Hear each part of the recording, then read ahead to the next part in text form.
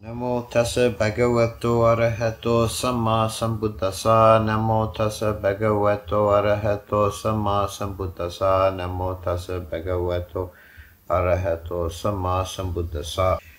I'm going to uh, talk about the three feelings uh, this evening. The the Vedana. Vedana is one of the five khandhas, the five aggregates that make up a, um, a, a human being. We have the body, feelings, which is Vedana, perceptions, mental formations, and consciousness. Vedana is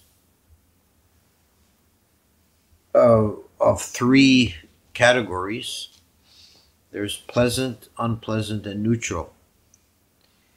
That those are the broad categories, but it's a simplification because you could say that, that it's all on a kind of a spectrum. Obviously, there's intensely painful feeling and all the way down to a mild irritation. You know, the same with pleasure. There's something that's just mildly pleasant and there's something feeling that's you know ecstatically joyful.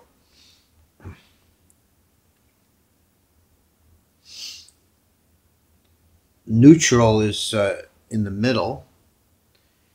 Is uh, it's not uh, it's not really it's an absence of feeling. It's it's a feeling in its own right. It's a neutral feeling.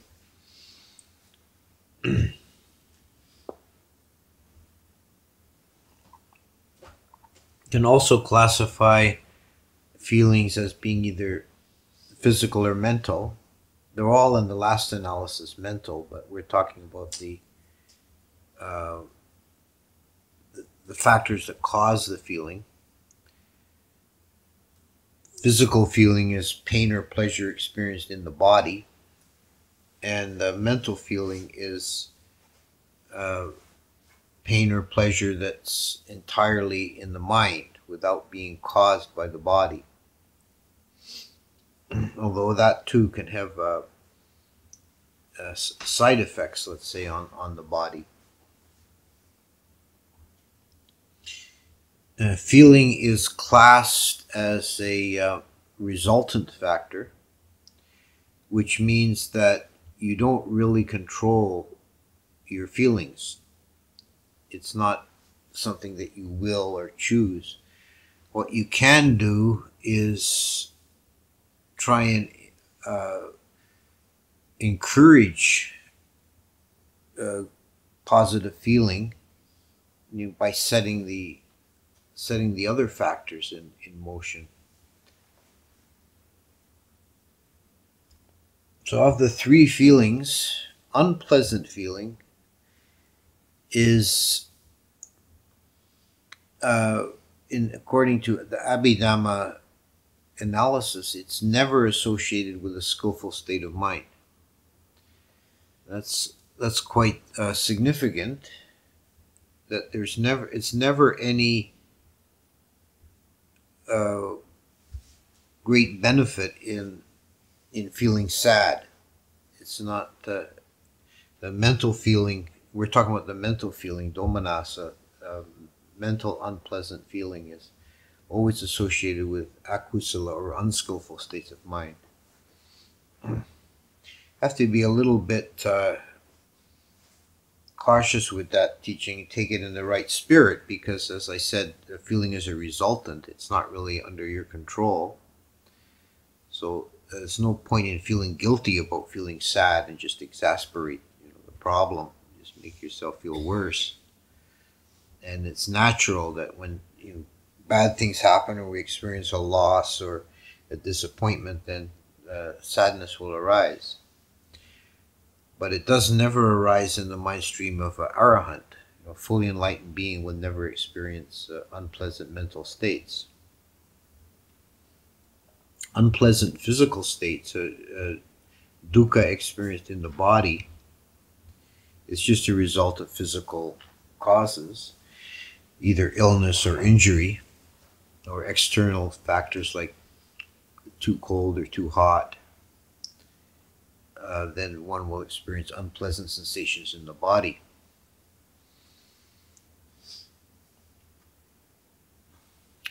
Uh, even the Buddha was subject to unpleasant sensations in the body. Uh, he had, uh, in his last year of his life, he suffered from uh, backache and uh, dysentery. It's recorded that um, he was he was in a lot of physical pain much of the time. He said the only time he wasn't in pain was when he was in fourth jhana. But having experienced that physical pain, he never uh, gave way to mental feelings of, of uh, sadness or distress. And this is this is some uh, you know this is a state of perfection of a Buddha, and it's not something that we can easily live up to, but it's something we should uh, recognize as a aspiration. That dealing with physical pain.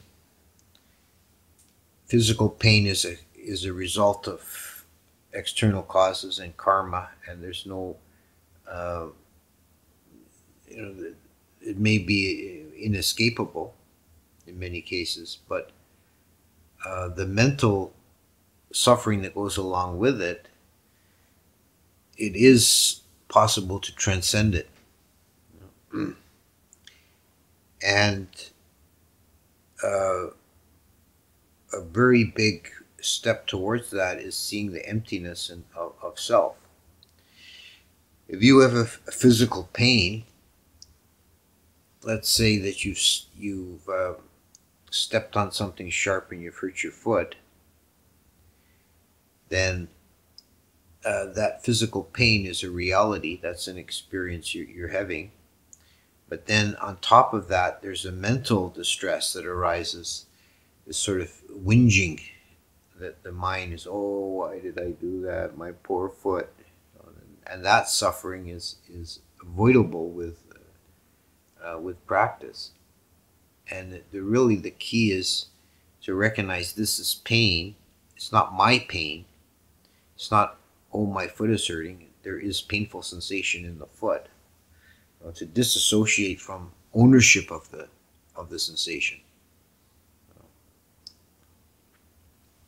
So the suffering of physical pain is compounded and made worse if one identifies with it and uh, takes ownership of it, let's say. And mental suffering is also caused by unskillful mind states, ayoniso manasikara, wrong reflection, when we dwell on the unpleasant and we um, uh, wish for things to be different than they actually are, then we, we suffer uh, dukkha.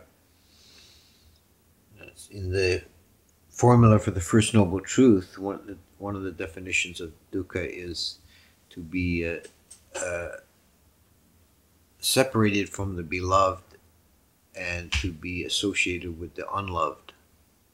You know, meaning not just persons, but objects, situations, so we don't get what we want or we're forced to endure what we don't want,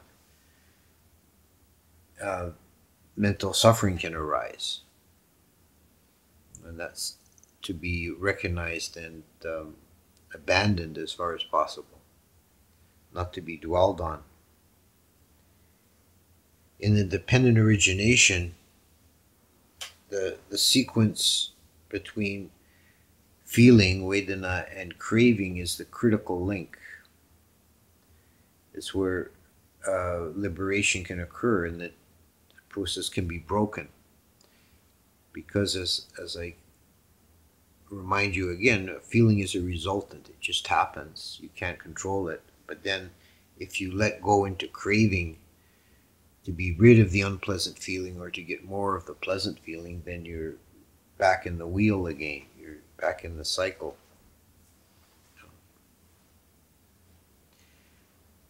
So, uh, the other end, pleasant feeling, sukha vedana, also is experienced from the body and from the mind. And uh, Sukha Vedana is uh, can be associated either with skillful or unskillful states of mind. And an, an, interesting point, and one that's of some uh, relevance and important relevance to practice, is that this pleasant feeling or joy. Joy is a uh, amplifier of karma, for good or for bad. If you do a good deed, something generous or kind, then you feel happy about it, joyful, then your, your karma is better than if you just do it cold heartedly or even begrudgingly.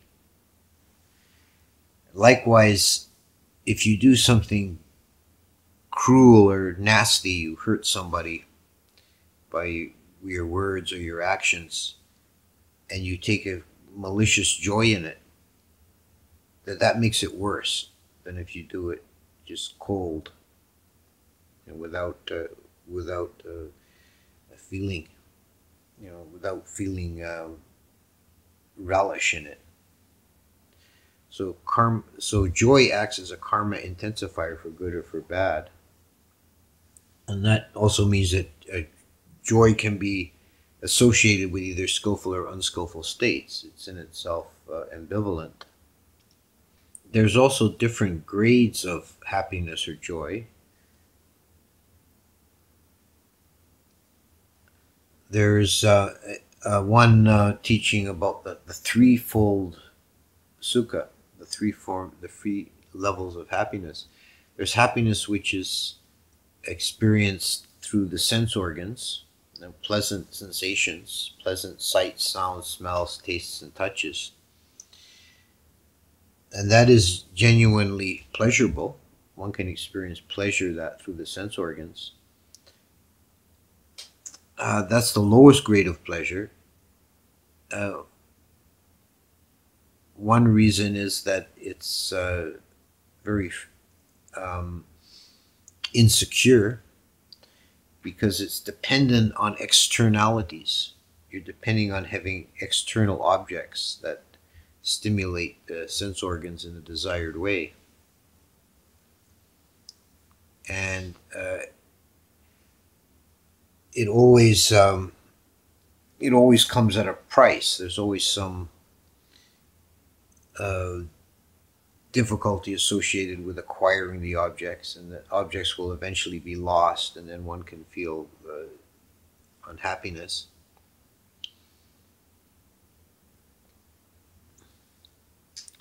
Uh, so it's the lowest form of of happiness, but it's still a happiness. There's still uh, joy to be experienced that way. The, then the the higher form of happiness is the happiness experienced in jhana, happiness found through meditation, when joy arises spontaneously internally without dependence on any external objects. in the in the Brahma worlds, the deities in the Brahma worlds feed on that bliss. That's their food. They don't uh, they don't eat anything external. They feed on bliss. And the Buddha called uh, the happiness experienced in jhana the blame, blameless pleasure that uh, is uh, separate from the senses. It's nothing to do with the senses but that's still uh, even that degree of happiness is dependent on um, on the the conditions of the person being in jhana.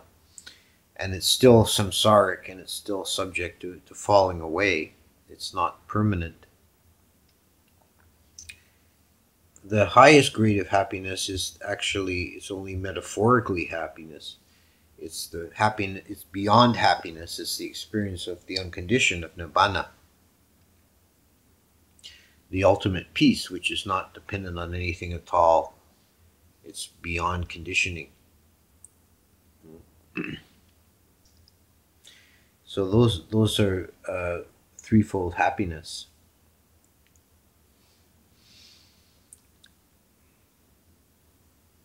in in terms of the jhana uh, path, there is uh, within that there are two grades or levels of happiness. There's piti and sukha.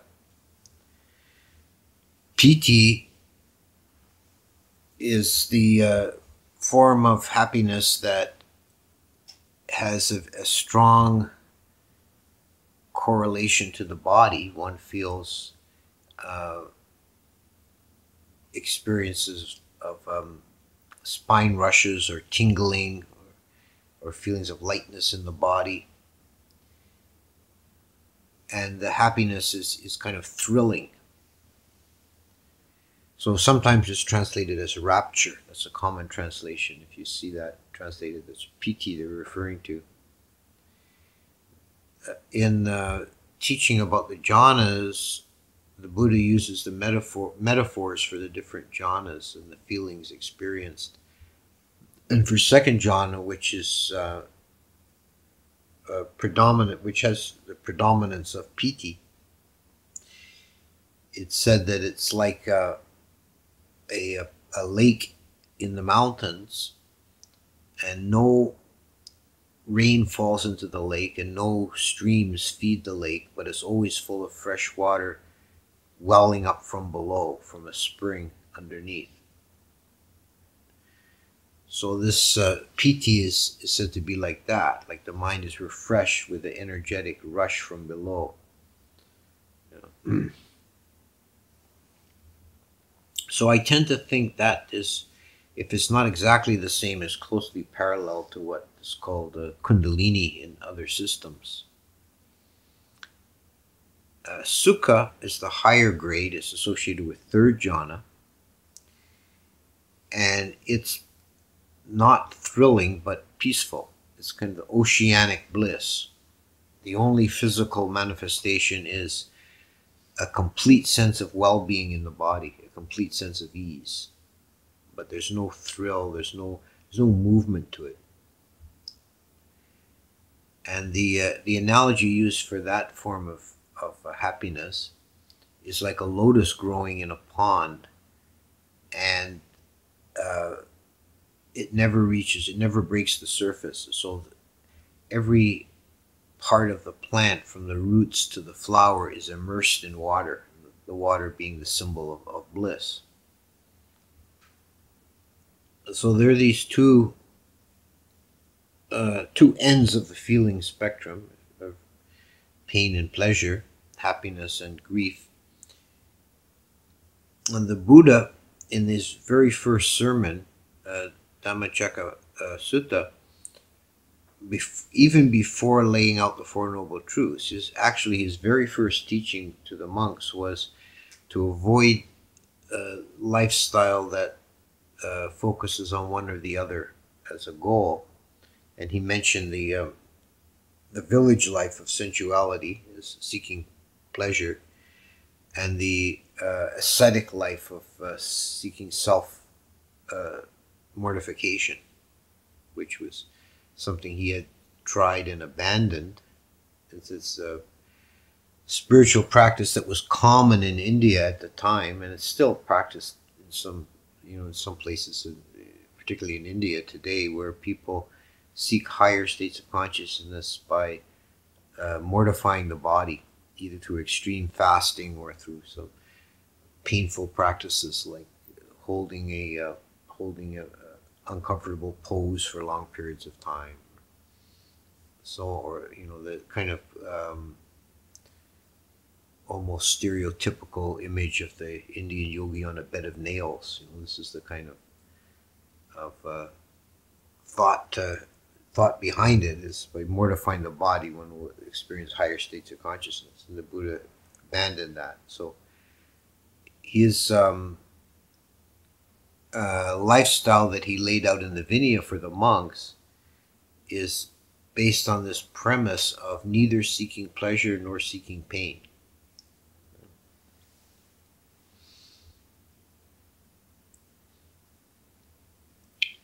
When uh, pleasure or pain arise, they're seen as resultants. They're they're they're uh, uh, dealt with accordingly.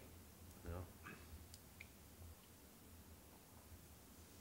there's no virtue in seeking pain, but there is a virtue in being able to endure pain without uh, no, without giving way to despair. and that leaves the um, the middle category of neutral feeling,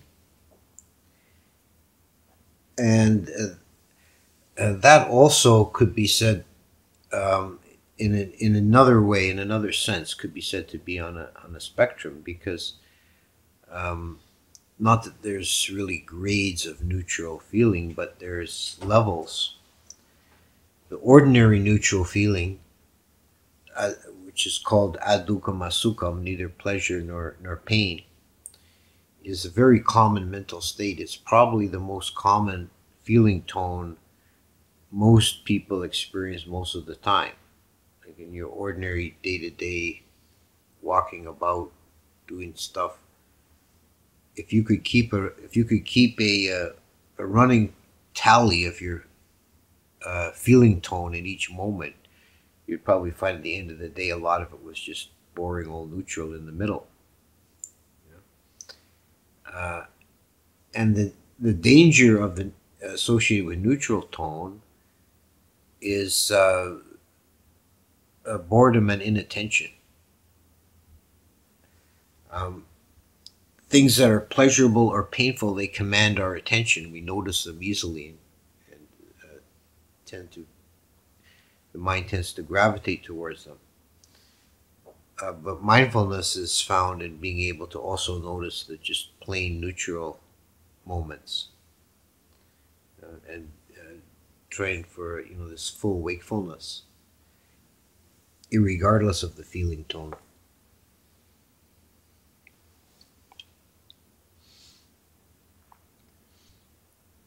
So we could say that the um, the level here, uh, the, the distinction here between levels is the degree of mindfulness. If someone is um, very dull and inattentive, you know, they're going to be experiencing a lot of neutral moments and that's not an, in, in any way an elevated form of, of consciousness that um, in Thailand they call that the water buffalo equanimity. It's like a water buffalo is a very stolid beast. It, you know, doesn't matter if it's hot or cold or flies are biting it. It just stands there chewing its cud. And that's, you know, it doesn't care. It's not that doesn't come from any great wisdom, but just through you know dull, stolid nature. But equanimity, which is another name, upekkha, is a name for a neutral feeling, can be a very elevated spiritual state if it's associated with uh, with uh, wakefulness and, and mindfulness. Upekkha is actually classed as, for example, in the sequence of the jhanas, it's higher than, than bliss. It's beyond bliss. It's, it's called a sukham param sukham, the bliss beyond bliss. It's the supreme peacefulness. And that's as far you, far away from the uh, water buffalo equanimity. This is the equanimity of the fourth grade of Brahma gods. Complete, uh, peaceful wakeful awareness. Uh, Upekkha is also in the um, in the Brahma Brahma uh, Viharas, the uh, divine abidings, contemplations of uh, loving kindness, compassion, sympathetic joy, and equanimity. equanimity or Upekkha is here also considered the highest. It uh, transcends the other ones because the other ones uh, uh, have an aspiration associated with them. So there's some uh, some degree of wishing, but uh, equanimity just recognizes the the inherent that those qualities that are inherently uh, equal across all beings, human or non-human. So it's a profound uh, recognition of reality.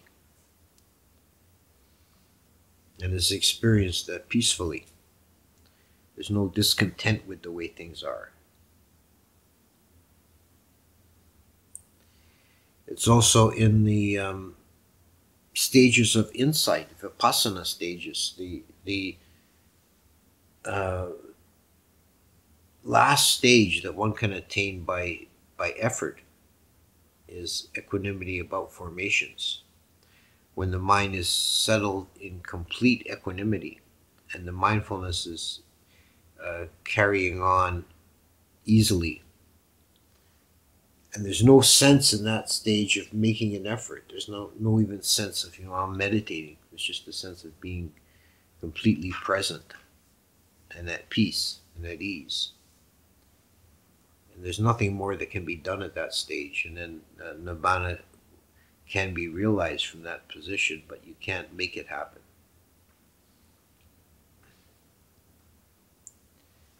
So equanimity has a very important place in in the uh, in the scheme of uh, uh, spiritual progress.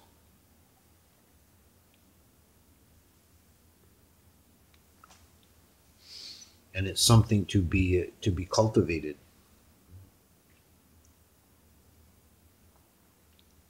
It's also equanimity is also a paramita, a perfection, the perfection of equanimity is being at peace in all circumstances. Um,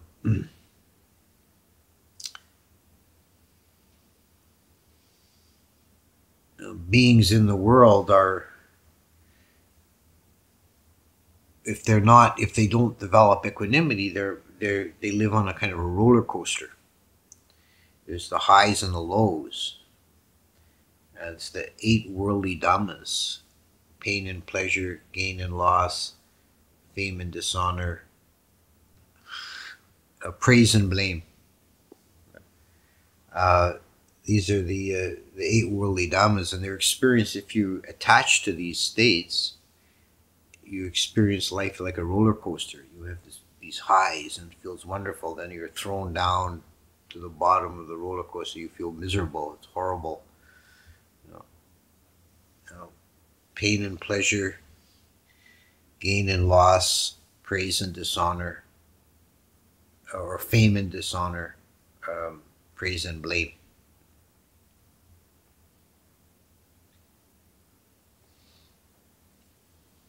But if you have equanimity, you uh, upekkha, then uh, you experience these things, but you just take them all with the same equanimous, calm acceptance. This is what's happening at this moment. Okay. And you, you carry on. Something different is going to be happening in the next moment.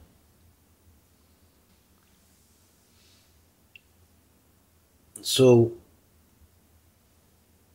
all three feelings considered, uh, their their importance is uh, the, the way to practice with them is to be mindful of them. This is Vedanusati, mindfulness directed towards the feelings. It's one of the four foundations of mindfulness.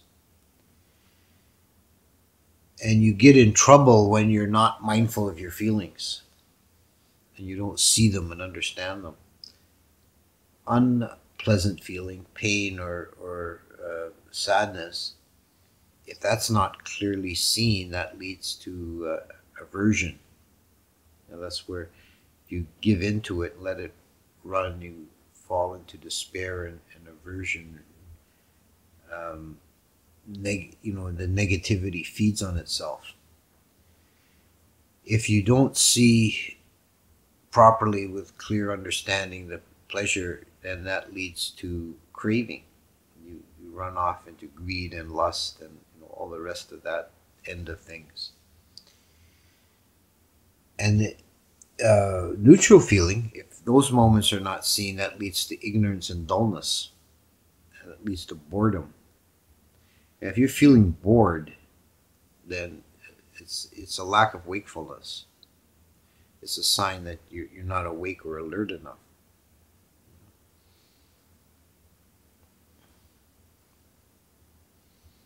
And the feelings in themselves, in, in their own nature, all all of the feelings in their own nature by themselves are neither neither good nor bad. They're just as they are. They're just an experience of the mind. And it is a resultant. It comes from causes and conditions. It's not something we uh, we choose to do. Although we can set up the conditions to try and encourage uh, positive feelings, uh, encourage wakeful equanimity, or encourage uh, joyful experience.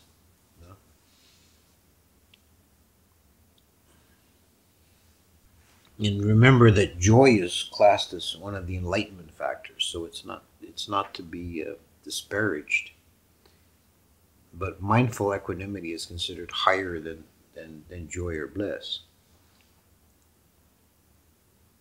So these uh, feelings, the Vedanas, this is an integral part of what we are as human beings. It's one of the one of the aggregates and like all of the aggregates, it's uh, impermanent and it's essentially empty and um, without self substance. The Buddha's analogy for feelings was soap bubbles. Know, they can be big and colorful, but they there's no substance to them and they burst very easily and our feelings come and go. They're not none of they're not at all permanent.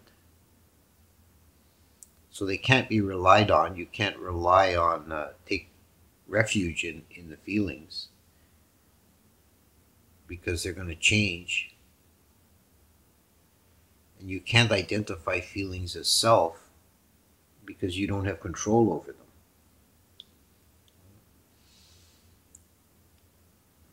there is they're essentially uh, without substance. So we shouldn't overvalue our feelings. We shouldn't make too much of a give them too much importance. They're just mental states without without substance, impermanent, not to be identified with.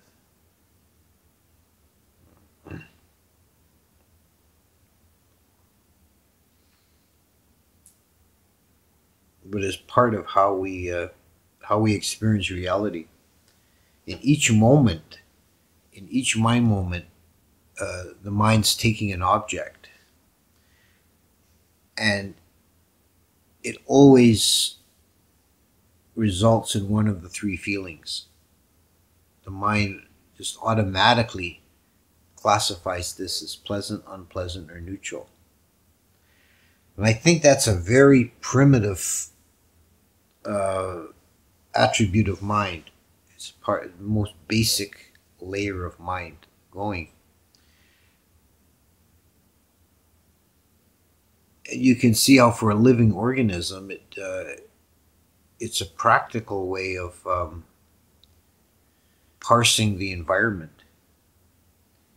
You know, when a, uh, you know, some simple animal even a, even a one-celled animal would have some degree of feeling of um, some things in the environment are pleasant in that you can either eat eat it or mate with it and it's pleasant. If it's going to eat you or hurt you then it's unpleasant. And if if you can't if it doesn't have any bearing to you it's neutral. So simple organisms would uh, be able to navigate the world with that, that set of feelings pleasant, unpleasant, neutral. The neutral stuff uh, can be ignored, move towards the pleasant, and run away from the unpleasant. So that's at a very basic, primitive level of our mind. We have these reactions to things and we classify them as pleasant, unpleasant, and neutral. But we should be careful not to identify with that, not to make it so important, try and transcend that and try and elevate the feelings as far as possible uh, into the, the, the spectrum of uh, skillful states of joy and into equanimity. And to be mindful of the feelings when they arise, not to identify them or take ownership of them, whether they're pleasant or unpleasant, and not to ignore the neutral. And then we're practicing uh, properly in regard to the feelings.